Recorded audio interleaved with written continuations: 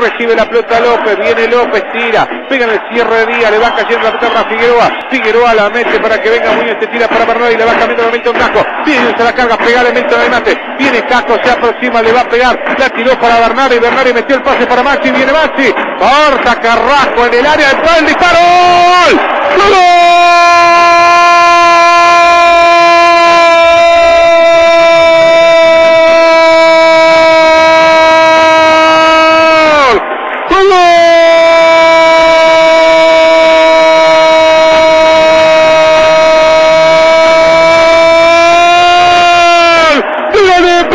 de Maxi Rodríguez, cerró mal Carrasco, lo Maxi que le pegó al arco y a los 33 la lepra canta el primero, error terrible en el fondo de Quino, lo aprovechó Maxi y volvió el gol, Maxi Rodríguez, casaca 11, gana Newell, Newell 1, Quilmes 0, Maxi a los 33.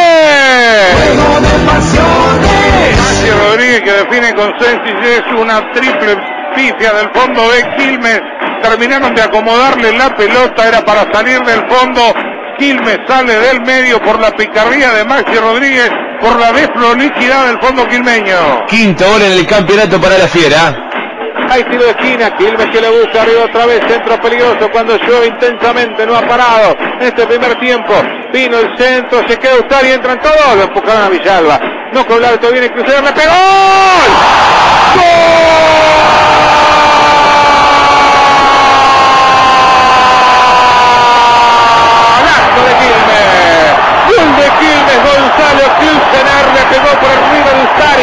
la clavó el ángulo superior izquierdo, nada que hacer por el arquero, de los 41, empata Quilmes, el 9, Gonzalo Quilcenar, Quilmes 1, News 1.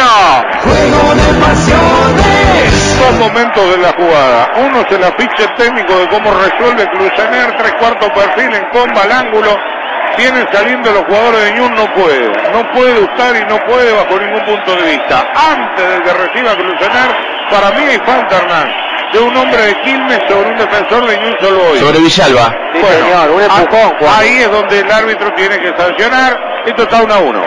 Cuarto gol en el campeonato para Clusener.